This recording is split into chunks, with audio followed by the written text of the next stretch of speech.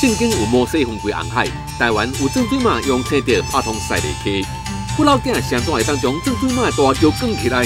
一心爱白回路，率领你爱情受纠缠。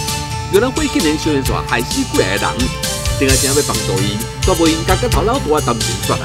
龙准备回头，但是这条路变怎行呢？三立台二十九频道，拜高拜五暗时七点半，细说台湾郑水马都不好住。